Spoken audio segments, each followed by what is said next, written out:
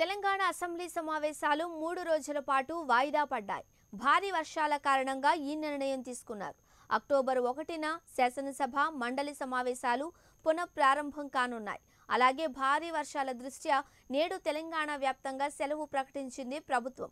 మరో రెండు రోజుల పాటు భారీ వర్షాలు కొనసాగే అవకాశం ఉన్నందున రాష్ట్రంలోని అన్ని పాఠశాలలు కళాశాలలు విద్యాసంస్థలతో పాటు అన్ని ప్రభుత్వ కార్యాలయాలకు నేడు సెలవు ప్రకటిస్తున్నట్లు తెలిపారు సీఎం కేసీఆర్.